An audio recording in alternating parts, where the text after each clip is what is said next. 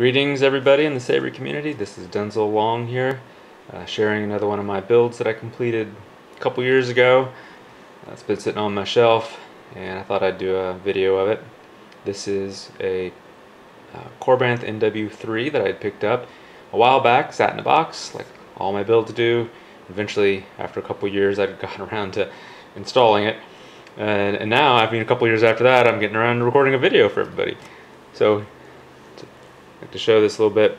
It's a standard install. There's nothing, no crystal chamber, nothing too exciting about it. Although it does present its own unique challenges when you do these very compact builds. Um, it's just not a lot of room in here. Hats off to those who have done crystal chambers and reveals in this because it's a feat. But uh, it's got an 18650 battery, a Nano Biscotti version 2, I think, um, 20 millimeter speaker. Um, I did some uh, additional modifications. I bored this uh, out to be 7 8 inch blade, made my own um, blade plug out of brass and, and polycarbonate, or is that Delrin? I don't recall.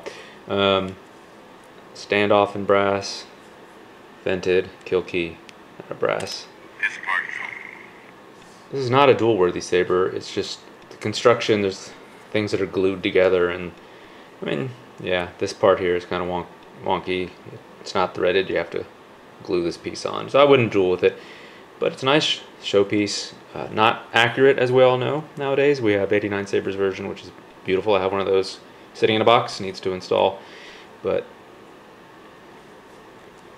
it's got a lead engine up in the front, copper heatsink underneath here, and a hidden button right underneath the uh, faux leather here. I replaced the plastic one and I machined a whole new piece that goes here and then um, put faux leather. Feels a lot nicer than that hard plastic funky stuff. So. And I'll show you the put a blade in it really quickly here.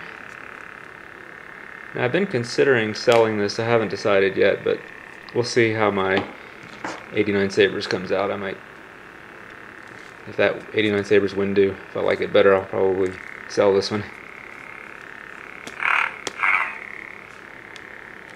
That retention screw, let's tie them back down. Kind of looks pink, doesn't it? But it is purple. Now this is mixed with LEDs, or LEDs, the LEDs mixed with resistors. That was a bit of experimentation too. Try to get the right resistor. Well, there you go. My Korbanth MW3 basic install with a few goodies. Let me know if you like it. Um, I might put it up for sale, depending on the interest. Until next time, thanks for watching.